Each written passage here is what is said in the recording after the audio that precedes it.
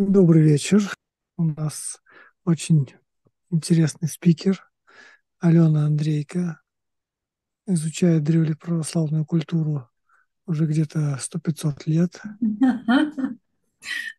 И сегодня она решила осветить тему специально по моим просьбам э, «Язык мой, враг мой». Вот прям будем сегодня целый час или не знаю сколько обсуждать эту историю. Алена, расскажи нам, как, как мне притрепаться. Я готов слушать впервые всех. Ну хорошо, здравствуйте, друзья. Я немножко со стипшим голосом к вам, ввиду того, что у нас завтра 21 а, июня. Для тех, кто знает, что это за дата, она, конечно же, знаменательная. А в нашей культуре солнечная, наивысшая точка солнцестояния в году, соответственно, зимний 21 июня считается новолетием. Ну и, соответственно, я под, э, готовлю мероприятия, празднования, и даже микрофон не спасает, поэтому я, к сожалению, вот, видите, знаменательный такой эфир, э, и название, и мое состояние совпадает, да, что приходится при подготовке мероприятия вкладываться и физически, и, соответственно, словесно, ну и как бы голос немножко подсел. Поэтому не обращайте внимания, я абсолютно в ресурсе. А, для тех, кто смотрит, буду стараться угодить вам и давать массу полезной информации. Ну, начнем с того, что действительно а, любое, а, любое праведное, настоящее, хорошее, что есть в нашей культуре, на данный момент обращено против землян. Дело в том, что у системы нет других козырей, кроме невежества.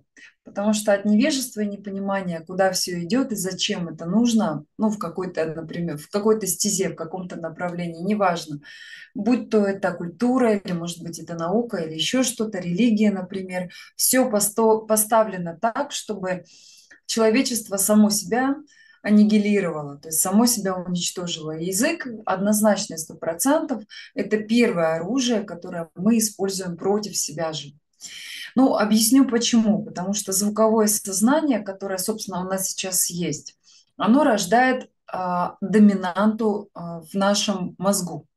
Потому что у нас есть центры в головном мозге. Это понятно, что образное мышление, которое сейчас практически не развито, оно есть еще у детей, но с возрастом его практически нет у взрослых, потому что звуковое сознание вызывает, имеет а, вообще звук имеет большой потенциал, ну, потому что он а, фактически ощутим, то есть мы можем кожей его почувствовать при высоте там какой-то децибел, да, или при громкости определенной. Мы, естественно, все, что у нас на уровне звука построено, это вплоть до того, что мы можем в цветовой гамме, гамме это отразить, потому что любой звук – это волна, у волны есть характеристики.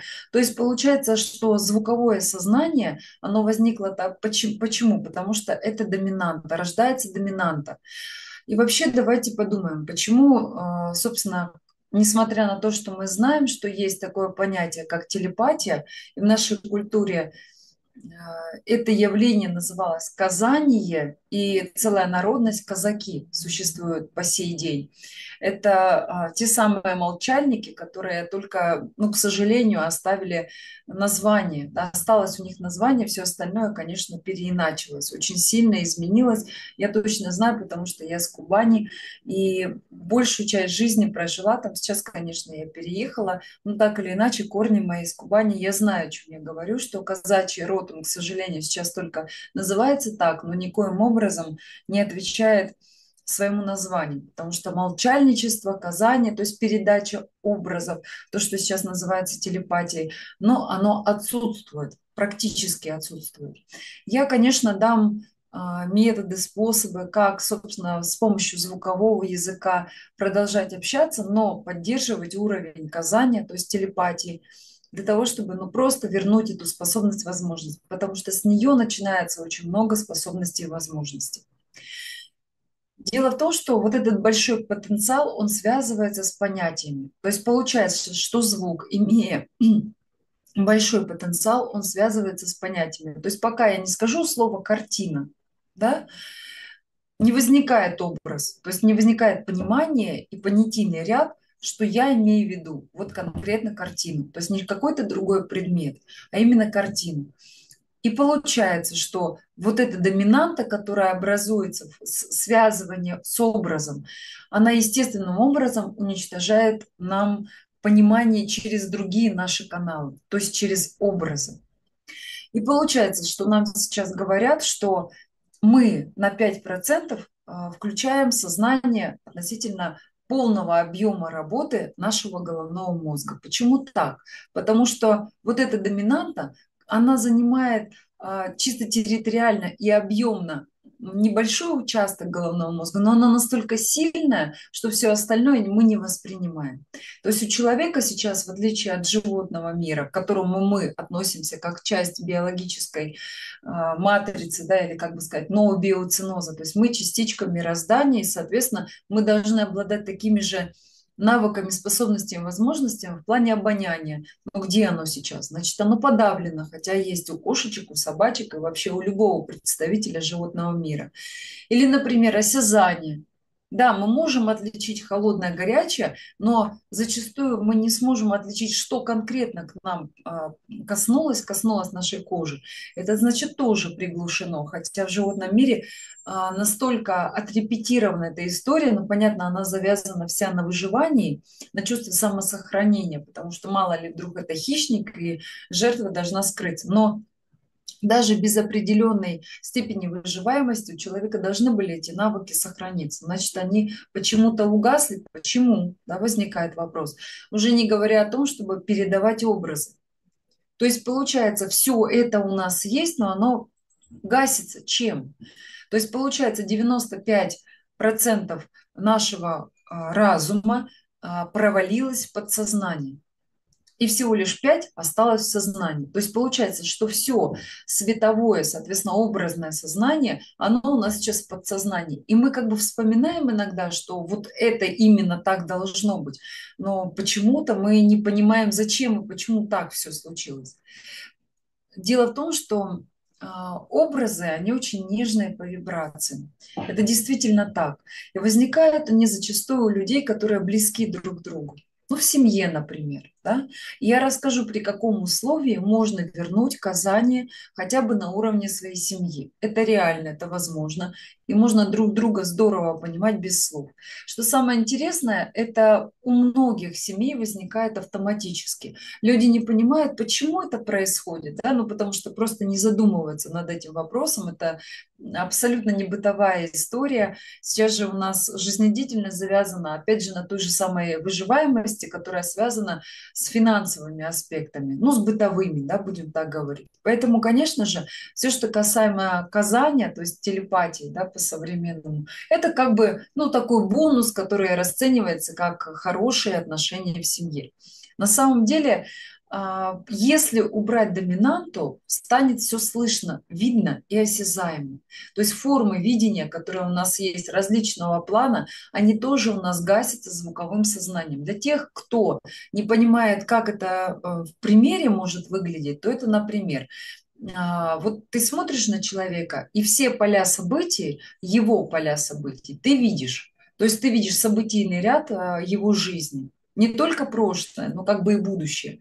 То есть у нас сейчас чисто механически есть способы кинезиологии, да, которая, естественно, это маятник, рамка и так далее, да, которые способны на уровне инерции тела определить, а что вообще а, с человеком, то есть как он себя физиологически чувствует, какие у него показатели и ресурсное состояние относительно прошлого, настоящего и будущего. Да, это можно, но на самом деле даже это не обязательно, если не гасить.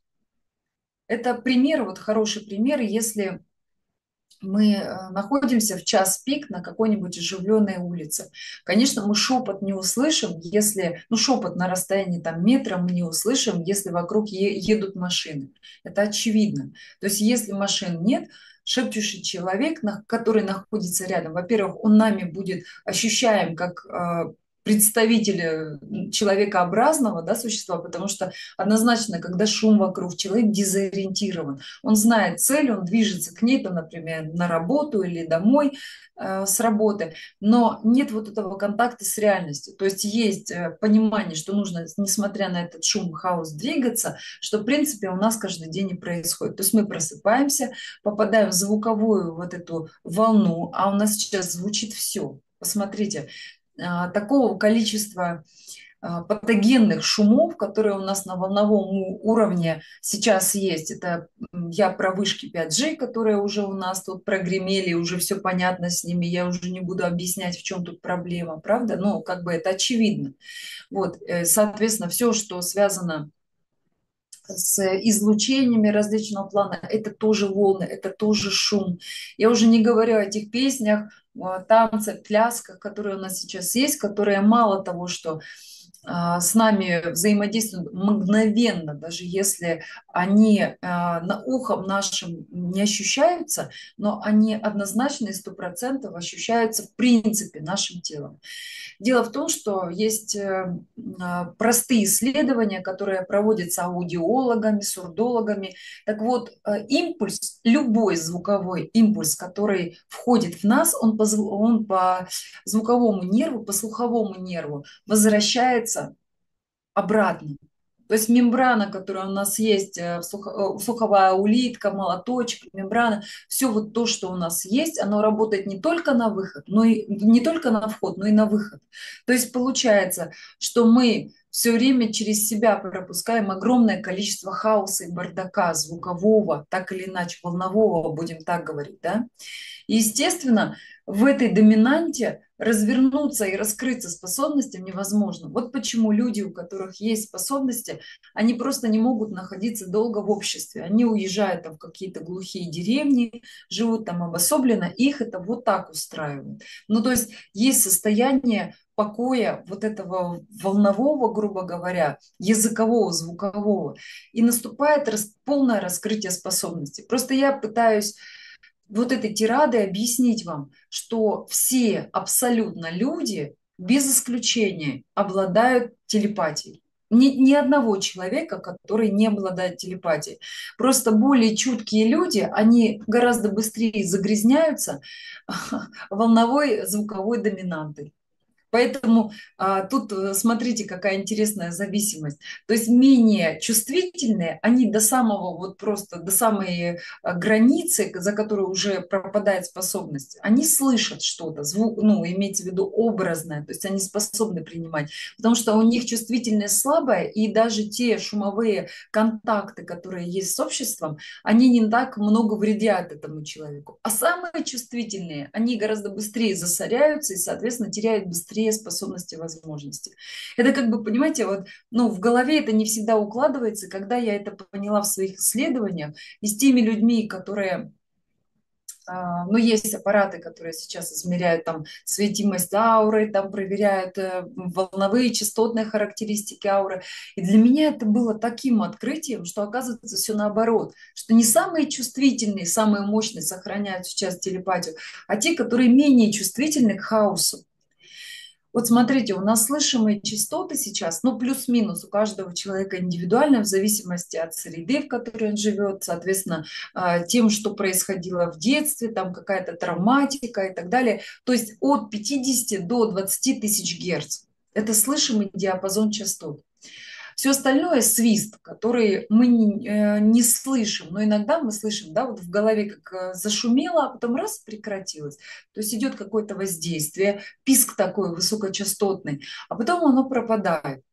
Это почему так? Потому что у нас иногда как бы пробуждение наступает, и мы э, как бы воспринимая, понимая, что есть какая-то доминанта, и мы чувствуем, что нас еще раз переключили. То есть с этими частотами постоянно играются я хочу сказать, что мы находимся в каком-то диком человейнике, в котором постоянно проводят эксперименты над живыми людьми. И если это не так, кто-то скажет, то он очень сильно заблуждается, либо откровенно сотрудничает с системой, которая, собственно, проводит эти опыты. Потому что мы все находимся в микроволновке. И это вызывает без конца, без края доминантные состояния, в которых человек не способен реагировать на нормальные а, воздействия среды. То есть все, что останется без этих шумовых эффектов.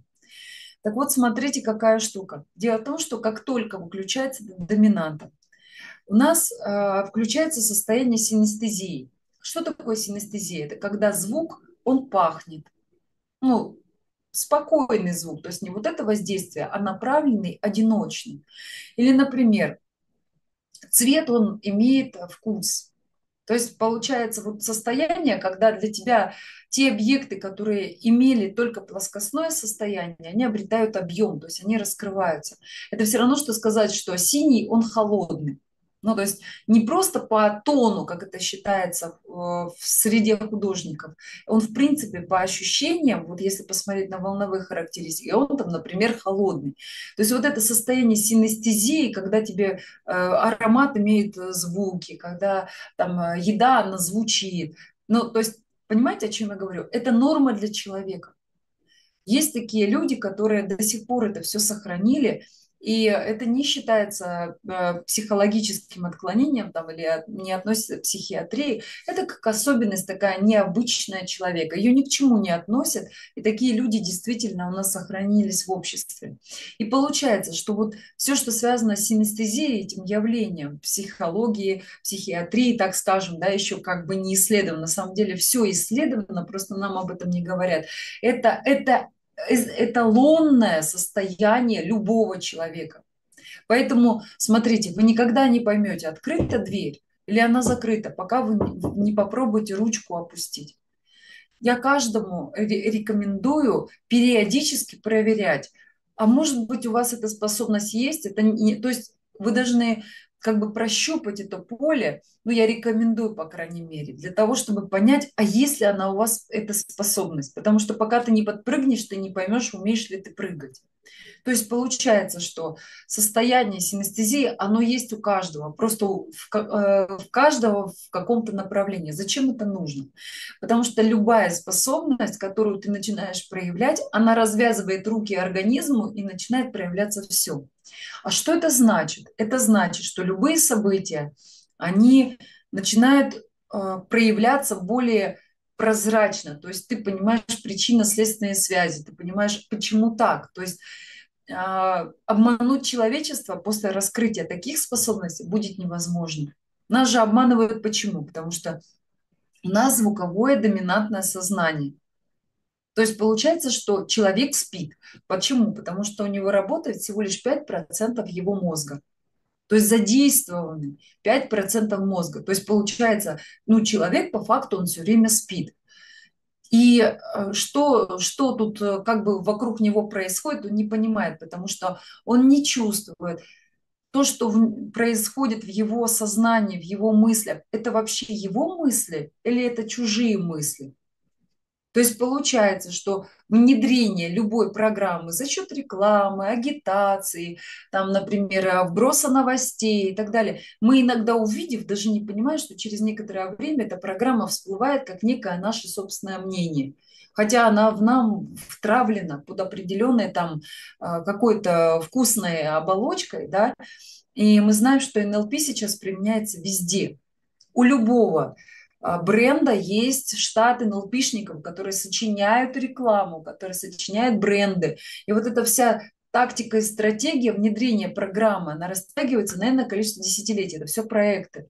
То есть даже на столетие, если мы посмотрим развитие каких-то кланов, которые у нас, в принципе, никто не скрывается, и все объявлено а, официально, что это правящие массы, будем так их называть. Поэтому, естественно, когда мы а, видим, что нас гипнотизирует. То есть мы не можем противостоять гипнозу именно потому, что мы в состоянии сна находимся. То есть у нас только звуковое сознание работает. Все остальное, а, все, что касается звуковых, в смысле вкусовых ощущений, телесных, то есть тактильных, да, образных, это все абсолютно системой управляемое. То есть как она скажет звуком, так это и будет. И понятное дело, что Но тут уже что сделаешь, да? Ну, как бы мы большинство даже не констатируем факт, что нами управляют. То есть нам кажется, что мы сами принимаем решения. Я уже не говорю о том, что вот э, ни для кого не секрет, что мы здесь э, в том проявленном мире, в котором есть, мы не единичны. То есть есть еще много вариантные, а, вариант, ну как бы сказать, много вариантность миров, в которых есть тонко материальные сущности. Грубо говоря, тонкоматериальные сущности, которые мы периодически видим, и нам только ну, в каких-то страшилках, фильмах, да, со страшными какими-то событиями нам показывают, что там, ну, вот этого надо бояться. Почему да, это все присутствует? То это действительно есть, но мы это не видим, потому что у нас заглушено э, образное сознание, это раз. И во-вторых, а, подселение, ну, попросту подселухи, да, которые бывают у многих в виде лярв, в виде каких-то там мнений, да, которые якобы не его. То есть человек чувствует, что душа как-то болеть начинает, а он все равно делает то, что делает. То есть откуда это, да?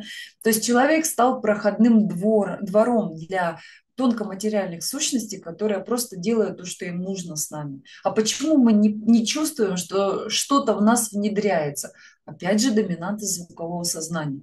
То есть большинство из психиатрических болезней, но я о них чуть позже скажу, там типа раздвоение личности, да, мания преследования, это все подселухи.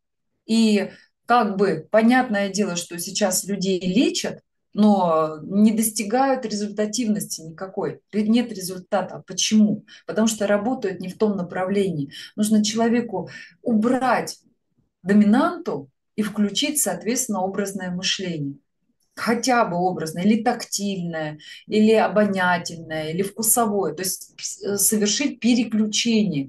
И тогда вне этой доминанты у человека будет возможность идентифицировать, что с ним что-то не так, и, соответственно, он сможет нормально, четко и ясно для себя принять решение, как он будет дальше с этим жить. Потому что а, свято место пусто не бывает. Если душа не активна, то есть у вас нет ощущения внутреннего контакта со своим вот этим внутренним «я», то здесь будет прогулка кого, кому только не лень. То есть обязательно кто-нибудь подселится. Здесь еще нужно понимать, что а, много чего из того, что нам сказали, а, что вот норма, да, вот наши дети рано начинают говорить. Главное, чтобы они понимали, что к ним обращаются. А звукоизвлечение – это не так обязательно, чтобы было рано. То есть сейчас норма, что, например, там условно а, от 8 месяцев и старше ребенок уже должен говорить. Он должен понимать, что вы к нему обращаетесь. Он должен оценивать ситуацию, он должен реагировать на ваши просьбы. То есть у него должен быть контакт с этой реальностью. Сейчас это если ребенок там до трех лет э, как-то не фразами изъясняется, сейчас это переносит в разряд дефектологии. То есть у нас есть ЗПРР, да, такой как бы диагноз, который ставят там до трех лет, потом просто ставят э, аутизм, да, или как бы раз есть э, расстройство аутистического спектра или ЗПР, то есть задержка психического здоровья. И вот эти все истории развития, да, точнее, то есть вот эти все истории у нас неврологии, психологии, дефектологии, они прописаны. То есть ребенок должен говорить. И с одной стороны, да, потому что это пугающая задержка. С другой стороны, она должна быть объясняема. То есть если у ребенка действительно проблемы, то есть он не понимает, тогда там, да, стоит работать. А если он молчит, он знает, как звукоизвлекать, но он не желает этого делать. Надо оставить ребенка в покое. Он заговорит, но его сознание, оно должно успеть созреть. То есть дайте ему опериться, и вы, ну, практически все родители, они знают, что хочет ребенок, они угадывают, да, вот они чувствуют, что, например, там потребность в еде или потребность во сне или еще там в чем-то. Это все чувствуется на уровне как раз телепатии. То есть нам обрезают э, тот период, когда может закрепиться функция, связанная с а, сознанием именно световым, то есть с образным. Вот нужно постараться это в детях наших не заглушить. И еще интересно, а, сознание световое, образное, оно проявляется как а, умение фантазировать. Представлять. То есть ребенок образы все время представляет и рассказывает, мне это смешно, или мне это там показалось. То есть он не сочиняет, вот как мы привыкли, да, взрослые люди, он действительно оперирует образами. Это надо поддерживать, чтобы ребенок вырос, вырос, стал взрослым абсолютно человеком, научился, естественно, изъясняться грамотно, четко и понятно, но сохранил вот это игривое состояние сознания. Потому что если оно выключится, ну, будет сложновато. Помните, все практически психологи говорят, что для того, чтобы оживить свою жизнь, там какой-то э, первоисток найти в себе, то нужно вспомнить внутреннего ребенка, то есть его открыть. Так может его просто не забывать, и все время э, поддерживать эти отношения с самим собой, чтобы было легко, просто и тепло на душе. У нас, естественно, звуковой язык, он привел к дихотомии. Вот если человек владеет телепатией, то он всегда может понять поведение другого человека. У нас же сейчас только хорошо и плохо – а то, что посередине, мы зачастую не знаем. А ведь разные бывают причинно-следственные связи, и когда у человека есть телепатия, он может отследить, что привело к такому вот состоянию или к такому там событию какому-то. То есть здесь сразу вариантность увеличивается и становится в отношениях легче, потому что ты видишь причинно-следственные связи взаимодействия супругов. Ты понимаешь, почему, например, на работе, да, вот такие истории происходят, или, например, там в какой-то бытовой совершенно жизни. То есть э, ссоры, ссоры не из-за чего там устраивать дома, потому что или на работе, или где-то конфликты, потому что прозрачно все. То есть звуковое сознание, что вот тот сказал мне вот это, или, например, здесь провозгласили вот так. Но когда ты в объеме видишь смысл происходящего, для тебя все становится прозрачным. То есть получается, что если мы все время звукоизвлекаем, а я напоминаю, что язычники – это те, которые языком разговаривают. Вот у нас сейчас а, но в неославянистской традиции, к сожалению, считается, что язычники – это какие-то славянские вот эти все истории. Нет. Язычники – это люди, которые разговаривают языком. А все остальное да, за границами – это уже многобожие или там э, как-то там древле православие или еще как-то называется. То есть получается, что нам подменили даже понятие, которое могло бы нам объяснить, что на самом деле произошло. То есть язычество – это совершенно недавняя история. Ну, потому что люди в таком количестве никогда друг с другом не разговаривали. Понятное дело, что мы сейчас стали еще меньше читать книг, и мы стали больше смотреть э, все, что связано, например, там, с YouTube и различными звуковыми программами. То есть получается, что Единственное, что нас еще немножко удерживало да, от такого количества болтовни и а, слушания доминанты звуковой, это то чтение, да, которое еще сохранялось в Советском Союзе. Поэтому нужно делать вывод, да, куда мы все катимся и чем все это закончится. Потому что чем сильнее доминанта, тем менее чувствительность у нас вообще к чему-либо.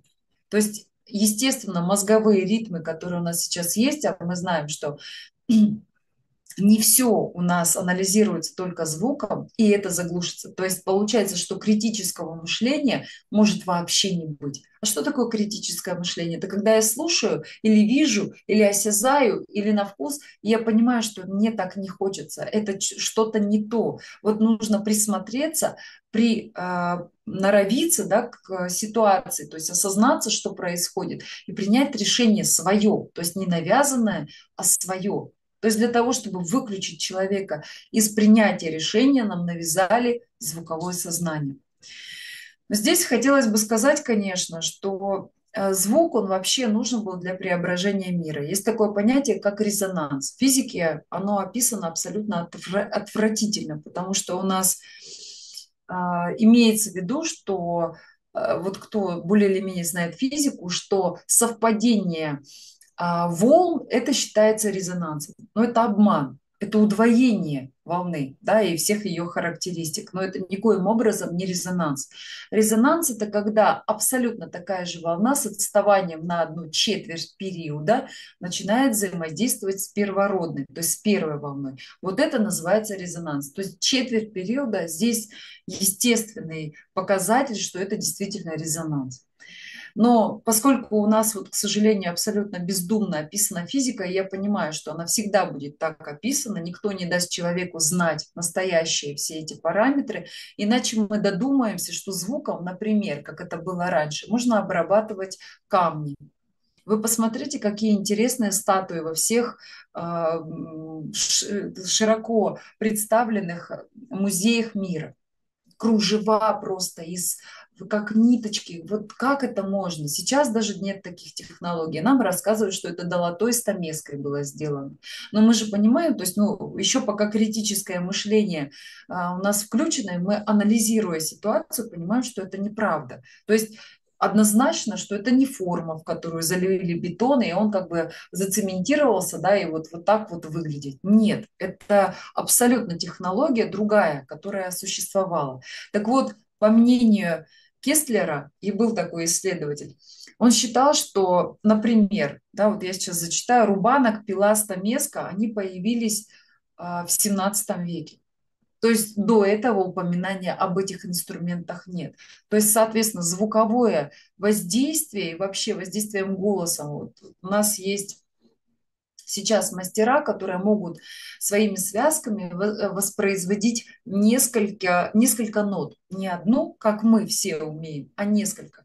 Пример тому горловое пение оно еще сохранилось, и, ну, кажется, что оно какое-то, да, вот непонятно, чисто национальное какое-то, которое на севере а, нашей страны сохранялось, но нет. То есть мы сейчас не, мог, не можем, конечно, звукоизвлекать красивую какую-то мелодию, мелодию из несколько там, из двух, из трех нот одновременно, но такая практика есть. То есть наши а, связки способны голосовые это извлекать, и это нужно для того, чтобы мы соответственно, могли обрабатывать все. Да, у нас слово «зодчество» и «зудеть» однокоренные. Вот нам рассказывают, что зодчество это якобы вот там вот э, брали из дерева, все это делали, но это сделалось звуком. И до сих пор еще звуком а, физики достигают некоторых результатов. Почему так? Почему нам это убрали? Потому что если мы до этого дойдем, мы поймем, что звук, который мы все время извлекаем, да, звукоизвлекаем, мы, естественно, а, как оружие сами против себя используем. То есть человечество однозначно, сто процентов через некоторое время додумается, что то, что мы произносим, естественным образом нас, нас уничтожает. Такого количества хаотичного звука не должно быть в принципе, хотя бы слышимого, да, который мы слышим, уже не говоря о том, который мы не слышим. Я уже сказала, да, что у нас в герцах от 50 до 20 тысяч к сожалению, но у большинства людей. Понятно, что у музыкантов это может быть более да, широкий диапазон, у обычных людей там уже варьируется в зависимости от заболевания, от воспитания, от желания тренироваться в этом направлении. То есть получается, что мы находимся в каком-то бардаке и в принципе не владеем теми технологиями, которые у нас были, только потому, что если хотя бы какая-то толика их будет, мы сразу поймем, что то, что сейчас происходит, это бардак, его абсолютно не должно быть. Я уже не говорю о мате, да, которая у нас как междометие используется периодически, особенно в стрессовых ситуациях. И я могу сказать, что все половые органы, которые у нас используются в ругане, они а, Э, ну, называются в страстях, то есть в нервном состоянии, то есть импульс злости, боли, обиды. И все это, соответственно, идет ударом, ударом по мочеполовой системе всех, кто находится в этом поле. То есть мат, он создан, вот у нас есть такое выражение поле брани. Есть слово «брониться». То есть мат использовался как боевое оружие, которое мы стали против себя же использовать в суе. И получается, что с одной стороны это классное изобретение наших предков, другое дело, что мы сейчас этой вилкой, в кавычках, тыкаем себе в глаз, вместо того, чтобы накалывать еду и есть. То есть, естественно, если мы хотим здорового потомства, если мы хотим уважительные отношения в семье, если мы хотим сохранить, в принципе, нормальное взаимопонимание с мирозданием, мат должен быть исключен из обихода в принципе, но использован против врагов. Понятное дело, что бывают стрессовые ситуации, когда там происходят какие-то действительно боевые действия, и, соответственно, человек, который копит силу своего звука, а чаще всего это молчальники, есть такое понятие, как аскеза. С одной стороны, ее сейчас проявляют как дурость, да, и В индуизме ее используют абсолютно бездумно, там, например, руку поднять и всю, всю жизнь держать. Но понятное дело, что эта аскеза, она как бы больше похожа на изнасилование своего организма. Но аскеза в плане молчания, она была у наших людей. когда копится потенциал звуковой, а он обязательно копится, потому что человек в целом, он не растрачивает. Вот подержите вот так вот руку и попробуйте, почувствуйте, с какой силой а, звук ударяется о ладонь. Это сила, это потенциал, который выходит из нас естественным образом каждый раз, когда мы говорим. И вот представьте хотя бы денечек помолчать. Человек чувствует силу своего голоса. А если это полгода, а если это год? Еще если это поле брани, да, или какая-то ситуация, которая требует применения мата, естественно, там уже будет такая силища, которая снесет все препятствия. И если человечество в целом до этого додумается и поймет силу своего организма, потому что мы в мироздании создавались как уникальное существо, которое способно в благодати жить, процветать. Только знаете как, а, мы, забыв, кто мы есть на самом деле, уничижаем себя, унижаем постоянно до такого жития-бытия, которое у нас сейчас есть. Естественно, я уже как-то приходила э, на Автополстар, и видео на моих каналах есть, на YouTube-канале, например, где я рассказывала, что, естественно, буква, каждая фонема должна э, иметь свой смысл. Соответственно, буква, которая получается из каких-то фонематических сложений, она тоже является смысловой, имеет смысловую нагрузку. А слово – это аббревиатура смыслов. Вот так было совсем недавно в глаголице. Понятное дело, что глаголица, она сама по себе, ну, не такая старая, да, но нам даже ее не дали. Но я напоминаю, что у нас было а, с Бога, веди, есть, добро и так далее, да, то есть каждая буква, она имела какой-то смысл. Пусть даже сама фонема, фонемы, составляющие эти буквы, они уже не имели смысла. То есть это сигнальные системы, которые выключили нам.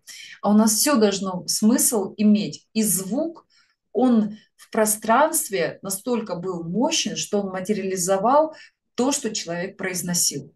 А в суе, когда мы много болтаем и разговариваем, что, в принципе, вот уже почти час делаю, да, он приводит к обнулению потенциала.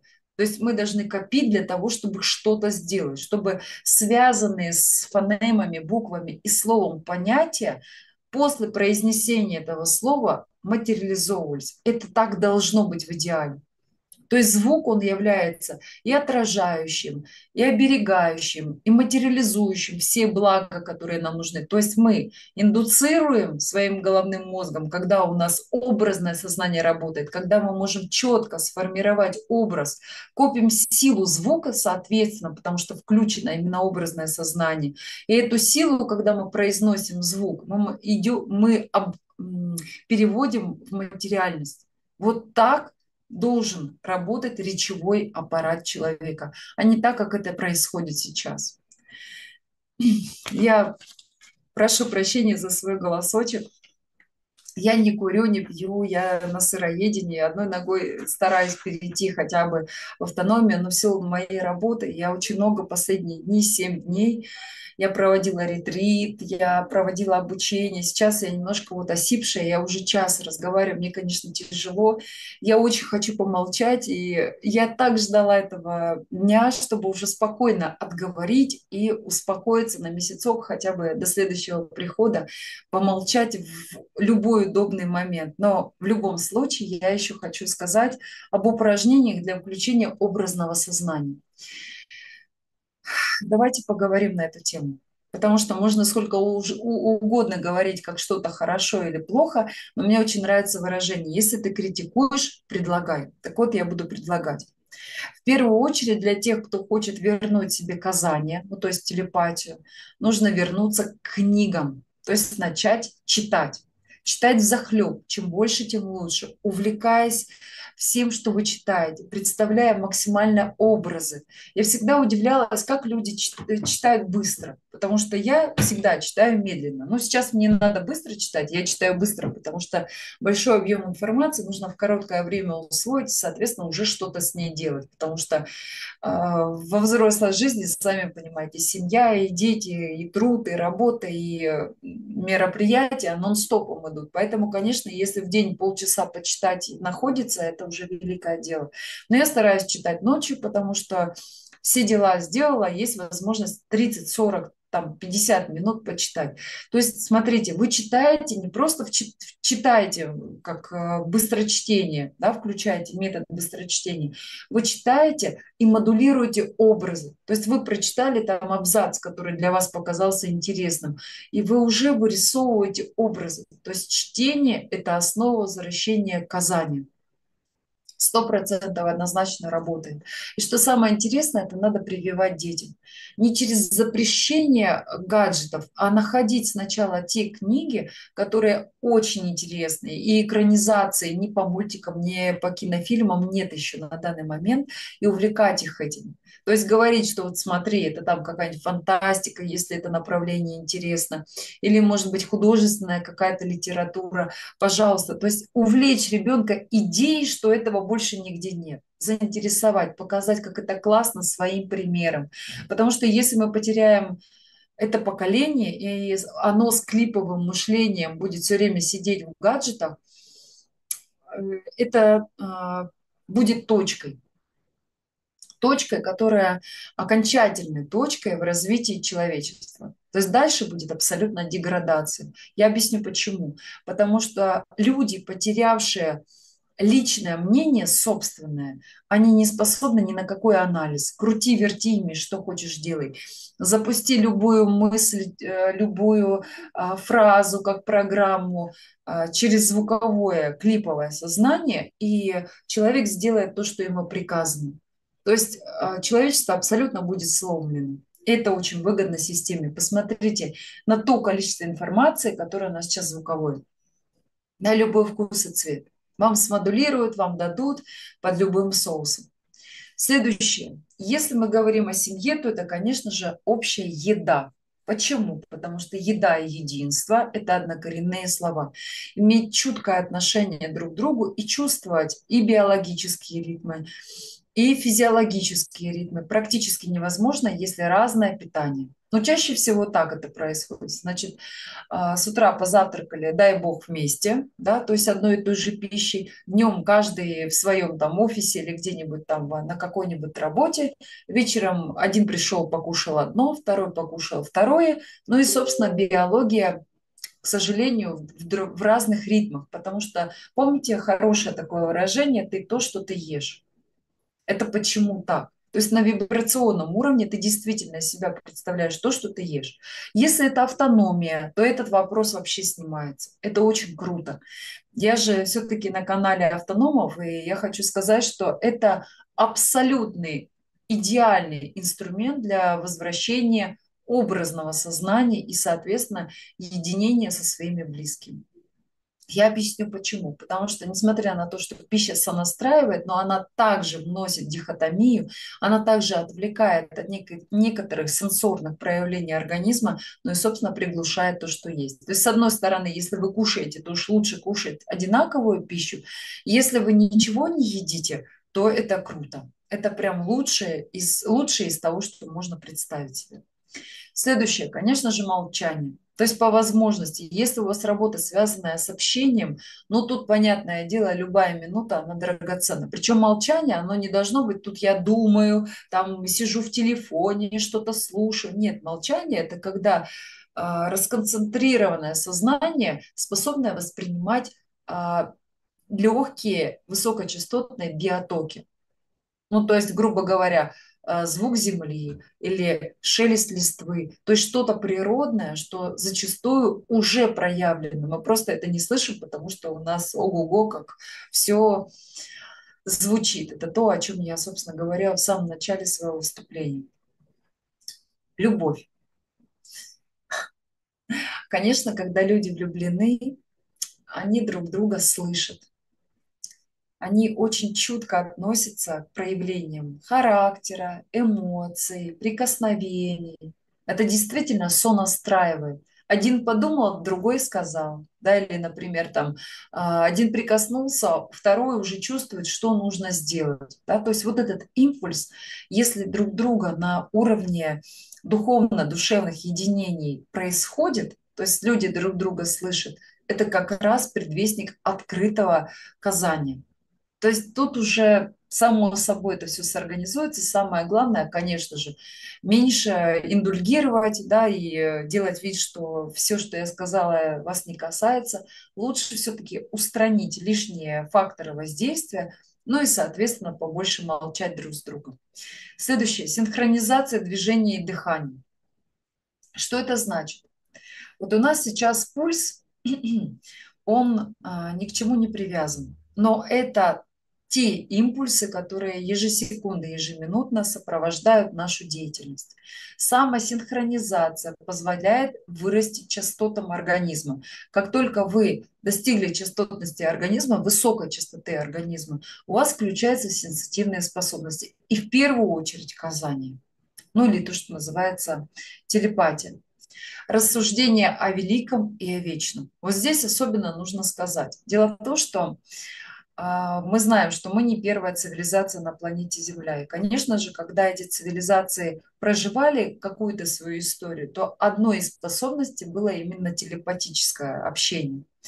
Так вот, если мы начинаем приобщаться, а мы знаем, где внимание, там сила, то есть по принципу сообщающихся сосудов, раз мы идентичны по вибрациям, то есть вот я, например, а, думаю о чем-то, да, мое внимание там, я уже к этой частоте приобщаюсь, то есть я сонастраиваюсь с этим явлением. Как только вы сонастроились, вы можете прочувствовать, какие способности, возможности, в частности, да, телепатия – была на тот момент. То есть какая она была? Бывает тактильная телепатия, бывает образная, бывает э, там, например, э, вкусовая, да? Всякое разное бывает проявление этой способности. То есть получается, что рассуждение о вечном и о великом, которое было в нашей культуре, однозначно сто процентов приведет к способностям, возможностям, в частности, сонастройки вот с такими способностями, которые мы лишены когда у нас есть звуковое сознание. Фух, ну вроде, вроде вам рассказала все, что хотела. Я хотела бы напоследок сказать, конечно же, мы находимся в том мире, в котором информация зачастую, она, конечно, передается звуком. И даже если мы пишем пи письмо, да, и не сопровождаем его образами, а как бы сопровождаем говорением, которое в голове, это все равно говорение. Это все равно звук, который э, чувствуется на наших связках. Мы знаем, что достаточно подумать, чтобы у нас э, задребежали голосовые связки в тон того, что мы думаем, причем думать в смысле голосовом. То есть я, например, как говорю мыслями кому, кому, кому-то что-то.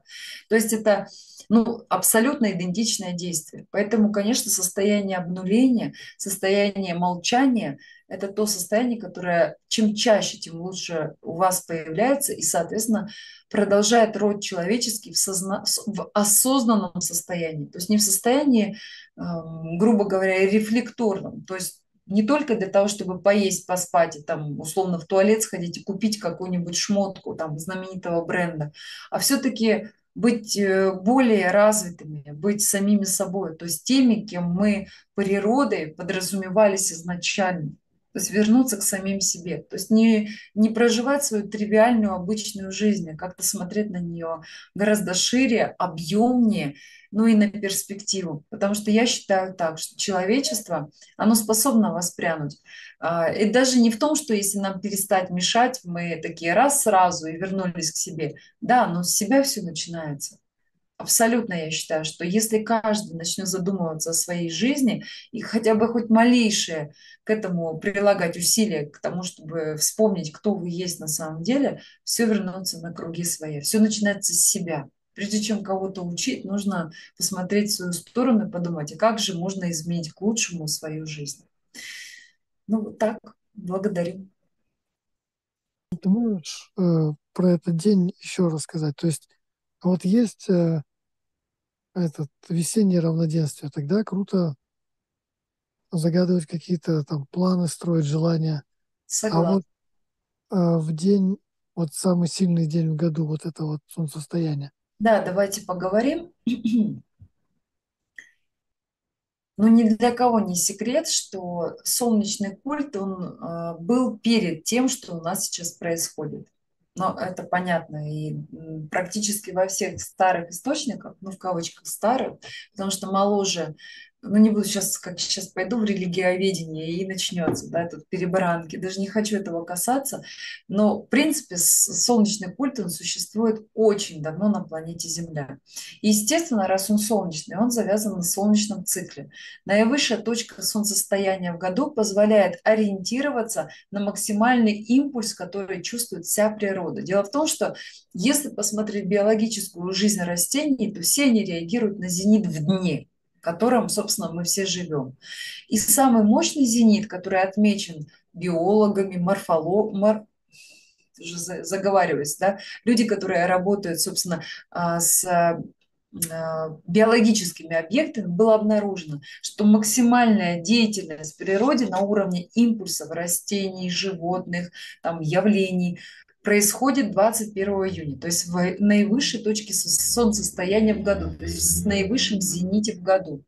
Это, на это обратили внимание физиологи, физики, там, биологи, и не могли понять, э, что вообще происходит. То есть если мы посмотрим волну, грубо говоря, да, э, э, возьмем один период волны, то мы увидим точку максимума и точку минимума. Дело в том, что современный Новый год, который у нас празднуется 31 а, декабря, он является точкой противоположной относительно 21 июня. Ну, то есть, понятно, там небольшой сдвиг есть, но в целом это противоположная точка. То есть это точка минимума.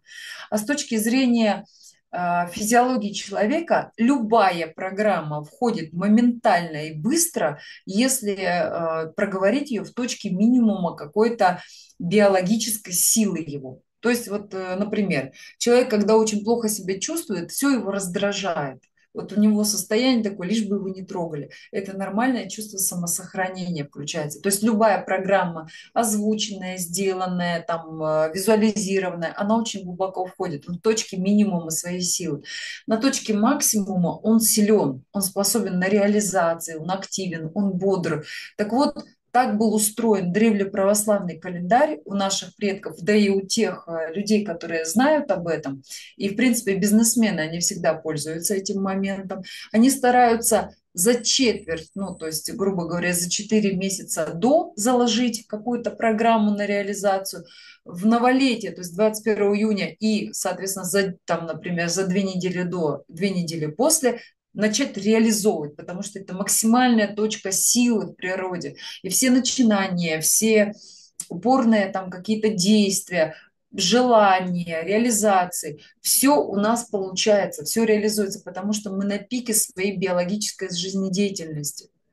И получается, алкогольные возлияния, которые производятся у нас 31 декабря, они моментально обнуляют людей. И еще весь год мы приходим в чувство до очередного возлияния. Поэтому алкоголь в целом, он организует проницаемость клеток и не держится ничего. То есть достаточно одной рюмки, чтобы 4 года приходить чувство. Людям об этом не рассказывают, еще и отравля... боевое отравляющее вещество продают задорого, то есть алкоголь ну, раб должен самоуничтожаться. Зачем ему, а, собственно, сознание, зачем ему мирная какая-то жизнь? Он должен себя самоубить. Причем а, захватчики земли а, они тут будут ни при чем, все по воле своей, все вот так, как возжелает человек. Так вот, получается, что солнечный календарь и пик силы проявленности – это 21 июня. Считалось новолетием. Это вот представьте, вы вскарабкались саночками на горку, да, то есть вы вот стали высшую точку, оттолкнулись со всей силы с этой высоты и хоп, и вас опять закинуло. А если вы берете саночки, то есть противоположные точки, и начинаете ползти, ползти в гору. Вот мы все, потому что нам сделали отправную точку, Григорианским календарем 31 декабря. Мы все почему живем в этом бардаке и хаосе? Многие отмечают, ничего не получается, я не могу реализовать задачу. Я говорю, от чего ты считаешь? Вот что в твоей жизни является отправной точкой? Ну, день рождения, это понятно, тоже точка силы, личная. А общественно, говорит, ну, Новый год, вот с него все и начинается. Я говорю, пока ты будешь все начинать, а, с Григорианского Нового года возлива, возлияние совершать вот эти алкогольные, вот так у тебя в жизни будет. Если, собственно, все начинает с высшей точки, то есть импульс задать идеи, мысли, там, например, курс какой-то, или там а, действие какое-то, или отношения какие-то приурочить, соответственно, там, например, семейные там, или бизнес-отношения к этой наивысшей точке состояния, состояния да, то есть наивысшие вибрации в году, то с этого все и пойдет. Вот так рассуждали наши предки. Соответственно, для того, чтобы всему человечеству было хорошо, начинали Новый год, да, как это сейчас говорится, или новолетие, с 21 июня, чтобы всем было хорошо. Не исключительно какому-то дяде, тете, которые к этим тайным знаниям имеют доступ, а чтобы всем было хорошо. Поэтому, конечно, я весь календарь сейчас не смогу рассказать и объяснить, но в целом я хочу сказать, что это не тайные знания, они есть в открытом доступе. Я все время кричу о том, что человечество, все знания есть. Вы самое главное, ну, ищущий да обрящет. Да? То есть однозначно было бы желание, это все можно достать. Причем это не какое-то там дремучее там шаманство или что-то еще. Это обычные знания, физически объясняемые, биологически обоснованные. Ну, собственно, в чем тут путаться? Это не какая-то хиромантия или там, грубо говоря, да, там, э, гадание на кофе. Это абсолютно адекватный, объясняемый с точки современных знаний факт. Поэтому если мы опираемся на 21 июня, у нас все спорится, ладится. Вы что думаете, вот не делать ничего, что я там надрывала все 7 дней, проводила ретрит или там готовлюсь э, к новолетию. Планируется около 150 человек на мероприятии. Это при самых скромных подсчетах, потому что я, например, а, сейчас с 60 работала репетировала все происходящее, организуя, собственно, все, что будет завтра. Но сколько будет, это просто я уже знаю, вижу по спискам, кто примерно с кем чего приедет, то есть будет очень много народу. Чтобы вы понимали, что стратегия, тактика общественная рождает, соответственно, импульсы в обществе. Ну вот сами судите теперь. То есть, смотрите, любой, услышавший эту информацию, с этого дня несет ответственность за все, что происходит в его жизни. Но если ты знаешь и не применяешь, ну, грош цена тогда этому знанию. Если ты знаешь и применяешь, ты имеешь эффекты. Это простая история. Она прозрачная, она всегда была и есть, но только теперь я ее чуть глубже вам объяснил. Так, так кто-то тут уже резко попал на ответственность. Тогда что ты скажешь про пение и классическую музыку? Ну, на самом деле, а, пение имеет место быть, и правильно, что оно есть, потому что человек, когда он произносит те или иные а, словосочетания, вот, э, в принципе, певцы, которые работают с музыкальной грамотой, знают, что такое сольфеджио, дают себе отчет, что такое хоровое пение, да, ну, то есть как бы глубоко там вращается в этой стезе, это хорошо. То есть творческое начало у нас должно быть. По поводу музыки я бы сказала так, смотрите, а, те музыкальные инструменты, которые у нас сейчас есть, они все немножко изменены. Просто я имею скромное музыкальное образование, у меня всего лишь музыкальная школа, то есть 7 а, классов, 7, 7 лет да, образования в музыкальной школе по классу фортепиано. Я как бы ну, могу эту тему затеять, но я, наверное, даже не имею права, потому что я играю на нескольких музыкальных инструментах, но у меня нет такого образования хорошего, чтобы об этом говорить говорить с полной ответственностью. Я считаю, что рот имеет право открывать только профессионал вот в, этой, в этом направлении.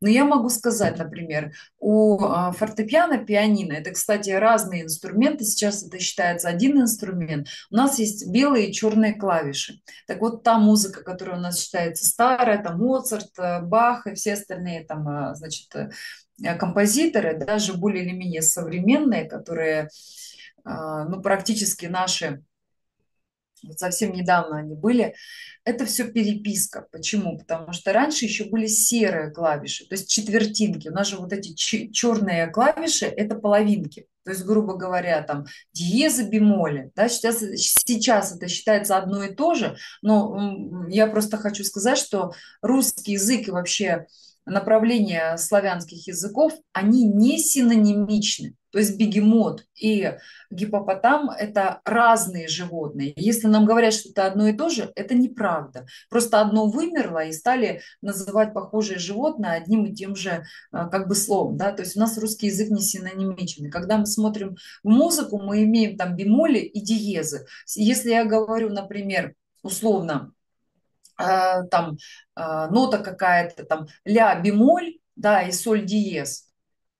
Это вообще разные должны быть ноты, потому что у нас убрали четвертинки, то есть они были серого цвета. Соответственно, в некоторых музеях остались такие странные музыкальные инструменты, на них никто не обращает внимания, кажется, что это какая-то, а, ну, то есть э, история не совсем меняемая, то есть кто-то шутил и дошутился до странного инструмента, но нет. Естественно, струнные инструменты сейчас у нас переделаны. У нас была гавайская гитара, у которой не было еще недавно, около 30 лет назад, порожка. Вот все инструменты, у которых есть вот эти вот порожки, они как бы, ну, неправильные, то есть у нас их не должно быть в принципе. А, у нас остался э, достаточно сложный музыкальный инструмент, это скрипка. Вот я считаю, все знают, кто учился в музыкальной школе, что скрипачи – это очень отважные люди, которым ну, досталось, потому что это практически самый сложный инструмент для обучения. Но он очень близок э, к тем инструментам, которые у нас были. Поэтому, конечно же, я хочу сказать, что в силу переписки музыкальных произведений, которые у нас были, у нас, к сожалению, настоящей музыки не осталось. То есть, с одной стороны, да, но с другой стороны, она немножко по-другому звучит. А раз она звучит не так, как задумано, значит, там другие числовые соотношения. Мы знаем, что у каждого звука есть свое числовое проявление. Соответственно, если там не такие соотношения, которые должны быть, а мы знаем, что миром правят числа их соотношения. Если там не те соотношения, которые закладывал автор, тогда нужно подумать, к чему могут при постоянном прослушивании привести эти музыкальные произведения.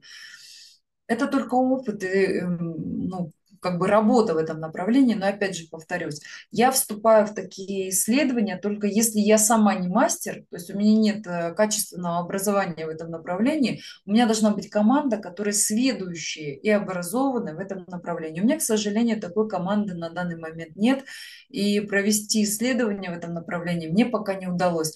Знаете, я теперь понимаю, почему люди жили вечно мне катастрофически не хватает времени, несмотря на то, что я практически не сплю, и я перехожу на автономию не потому, что там есть, там экономлю на еде, потому что мне очень хочется жить, и я не успеваю, мне так много хочется всего знать, попробовать, исследовать, донести до людей, что мир многообразный, красивый, он не такой, как нам рассказывают, он настолько яркий в своих проявлениях, что жить хочется, вот я говорю это, и я даже не знаю, как выразить, как я люблю эту жизнь, и, ну, нас сковали неправильным, но это неправильное можно заменить на правильное.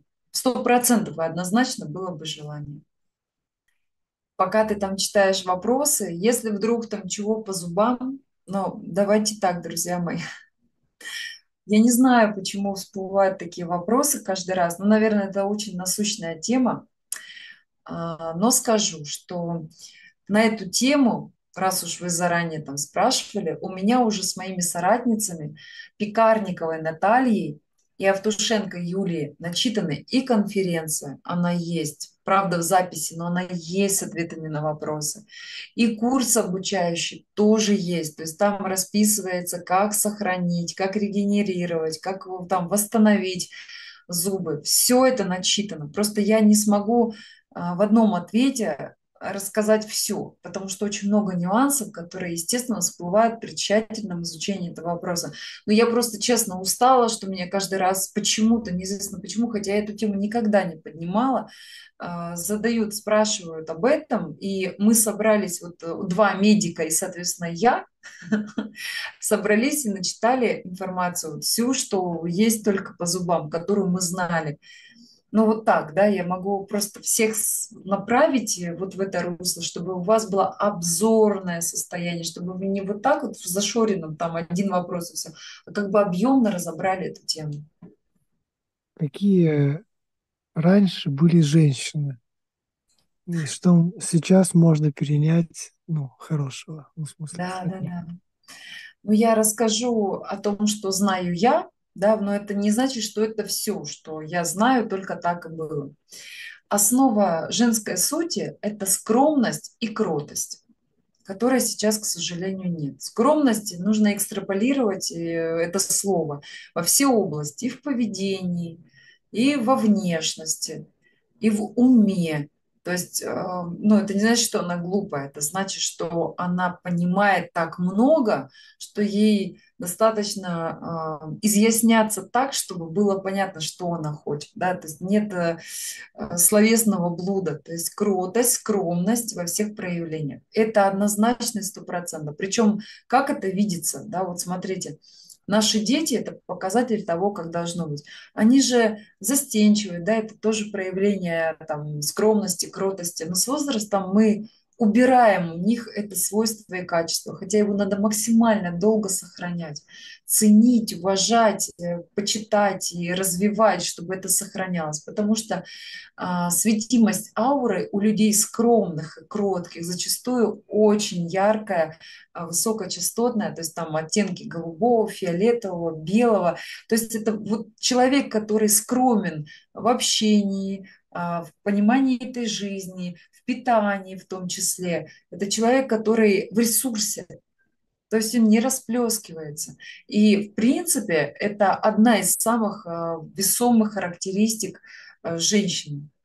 Сейчас, к сожалению, это не в цене, потому что э, грудь на голову, подвешенный язык, который не знает, что такое скромность, даже как это пишется, не знает развязанные там какие-то понятия, мировоззрение, которое позволяет все и вся. Это сейчас норма женской жизни, к сожалению. С возрастом мы начинаем больше ценить скромность и кротость, потому что все-таки ну, понимание и собственное мнение, оно имеет ценность. И, собственно, ты потом начинаешь понимать, что это основа основ. Но в целом вот это два ключевых понятия, которые, если экстраполировать, то есть, грубо говоря, простым языком, перенести на все сферы женской жизни, они будут определять истинную женщину.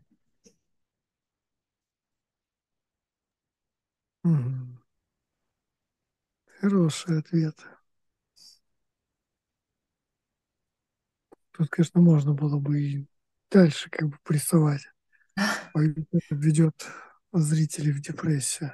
Я на самом деле не склонна вызывать у людей депрессивное состояние, просто потому что я считаю, что даже из гроба есть выход. Не бывает такого, чтобы что-то нельзя было исправить, вернуть, э, переиграть, восстановить. Все, что в нашей жизни имеет регенерацию, все возможно к восстановлению вызвать, было бы желание.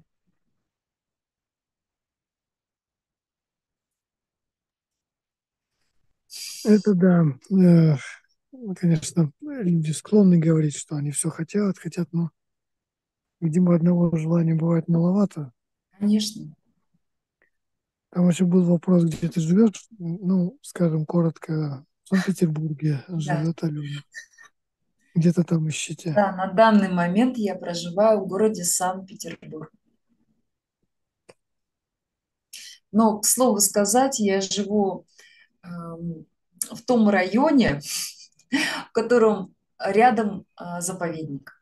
Будем так говорить. То есть я умудрилась э, со своим супругом поселиться там, где, с одной стороны, абсолютная сообщаемость со всем городом, абсолютная доступность, быстрая э, транспортабельность себя в любую точку города, но с, другой стороны, меня в шаговой доступности заповедник. То есть я имею такую благодать, и бегать каждый день. Э, я пробегаю, ну, где-то порядка 50 минут я каждый день бегаю. То есть я лучше не отдохну, лучше не посплю, но я обязательно буду двигаться. То есть у меня рядом природа. Я стараюсь и своих детей, и вообще всю свою семью переключать с этого сумасшедшего ритма на природные ритмы. Ну и мы очень часто бываем на природе. Молодец, Алена. Одобряю. Благодарю. Ну, я хочу, я хочу подытожить, что даже интуитивно чувствуется, вот, не хочется говорить. Очень часто вообще, особенно с людьми, которые говорят вообще ни о чем. Ну, то есть просто пересказывают что-то, какие-то там события, И под этим нет никакой практической как бы плоскости. Ну, то есть ты его послушал, он что-то сказал, ты что-то сказал, и в результате вы ничего не делаете, просто потратили время. И прям вот это тоскливо. И опять же, ты говоришь про книги. Вот читать книгу можно со скоростью где-то, ну, 300, может быть, 500 символов а, в минуту. А, а разговор это обычно 150. То есть получается слушать на Ютубе или где-то ролики это гораздо более медленное восприятие информации. А когда читаешь, во-первых, скорость выше и понимание глубже. В мое время, когда я училась, а это были 90-е, 2000-е, вот. Мне очень повезло с учителями. Знаете, вот бывают учителя старой закалки, которые а, уже на пенсии, и ты у них последний. То есть, грубо говоря, там, я вот, вот вас выпущу и пойду на пенсию, хотя я уже 10 лет на пенсии. Я так от всех устала. Мне повезло. А, у меня была Димова Инна Николаевна, это преподаватель русского языка, и Таранец Валентина Васильевна, это преподаватель математики. Я горжусь, что у меня эти люди были. Я вот уже выпускница-то давно, как вы понимаете, мне уже сороковник, по сути. И я до сих пор помню, как они, как они вот мой поток, мой класс учили. У нас было такое, что мы приходим изучать какое-то там что-то, да, и у нас было так, что по одному абзацу мы целый урок читаем произведение. Понятное дело, что мы не прочитаем произведение на литературе. Ну, понятно, русский литературу ведет один и тот же педагог. И мы не прочитаем все произведение. Но когда кто-то читает, даже то, что ты слышишь, ты и глазами водишь да, по тексту, потому что мы учились да, там, каким-то навыкам чтения. И с другой стороны, мы слышали, и у нас шли образы. И мы в этих образах купались, мы становились полноценными. И я горжусь, что у меня вот так было в школе. Хотя я была в сельской школе, потому что ну, я воспитывалась на Кубани, в станице близ города Ейска. И у меня была обычная сельская школа, где не было там супер-пупер каких-то там нововведений, супер там курсов каких-то, еще там что-то. Но это было настолько качественное образование, которым я до сих пор горжусь. Да, я до сих пор чувствую, что, ну, я понимаю, что я сейчас стала писать с ошибками, потому что все-таки с возрастом там забываются какие-то правила там, писания, да, а, грамотного. Но я стараюсь все-таки не потерять лицо и изъясняться грамотно, потому что у меня все на образах держится. И вот это образное мышление, оно должно прививаться в школе и в семье, не только во время чтения. Вообще все преподавание, оно должно построено быть на образах.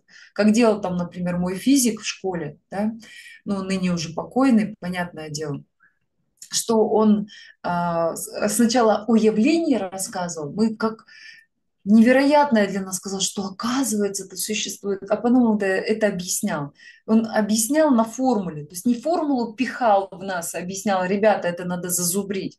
Он объяснял сначала понятийную базу, рассказывал, как это в мире проявляется на физическом уровне, то есть на материальном, то есть как это выглядит, а потом погружал нас в мир подсчетов, там, формул, всего остального. Вот что настоящее образование. Не быстрее галочку поставить, как это у нас сейчас есть ЕГЭ, а понять смысл происходящего и на уровне образного мышления запомнить на всю свою жизнь какое-то правило, закон, понятие, там еще там что-то. Понимаете? И нужно детей своих не за тройку в угол ставить или за двойку, как это сейчас принято, там ругать, какой он там бредовый.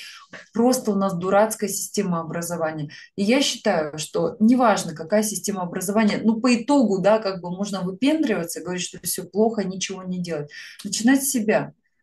Ведь у нас, вот у меня в семье до сих пор есть такое, мы садимся вечером с моим ребенком, старше 13 лет, и мы с ней обсуждаем книгу. Я спрашиваю, а как вот ты понимаешь эту фразу? Или как ты образно там воспринимаешь? Какие образы тебе идут, когда ты прочитала вот этот объем там в книгу в 300 листов? Потому что нормальное чтение, оно, конечно, ну, есть специалисты, которым нужно оценивать, у них свои, свое издательство, им нужно одну книгу в сутки прочитывать. И есть техники быстрочтения, когда ты информацию видишь, качество э, изъясняемой информации понимаешь, но ты не вникаешь в образы. Так можно можно, так не надо.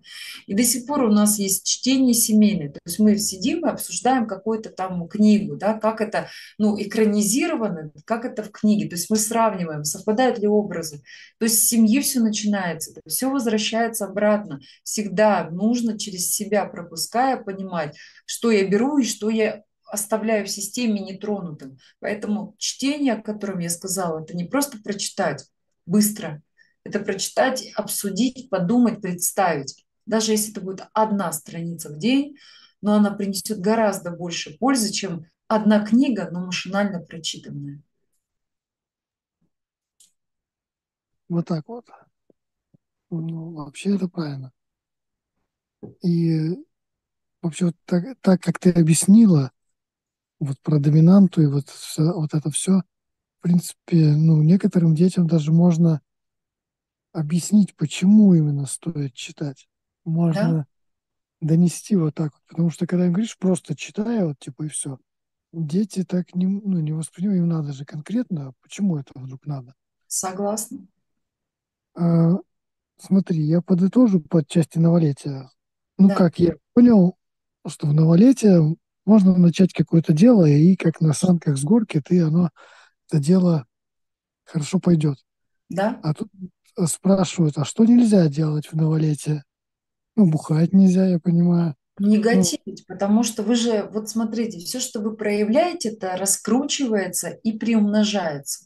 То есть, когда ты находишься в родении, это один из курсов моих, когда я людей на курсе учу испытывать высокочастотные эмоции и, соответственно, и заикарять, и проявлять при тех условиях, в которых, ну, вот как бы сложновато их реализовать, да, это родение. А можно, то есть по-человечески, где-то как-то. То есть, получается, когда вы находитесь в заикаренном, постоянном высокочастотном состоянии, и тем более в новолетии, это будет приумножаться. Вот представьте, состояние аффекта, там, злости, конфронтации, негативе различного плана, то есть там каким, каких-то делах там условно которые приводят к диссонансу с этим миром. Но если вы это начинаете, значит, это будет, естественно, приумножаться. Вы же туда свою силу вкладываете. У вас-то подъем силы, и вы ее со всего маху, бах, туда.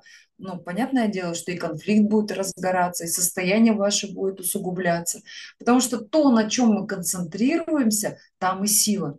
Поэтому расфокусировка на деструктиве, да, то есть понятно, что с ним надо работать, его нужно убирать из своей жизни, и фокусировка, и, соответственно, сосредоточение эмоциональное, духовное, душевное на том, что делает вас вами, то есть на высоких частотах, а мы все созданы на высоких частотах, просто мы низвели себя до них, то есть скатились до низкочастотного поведения.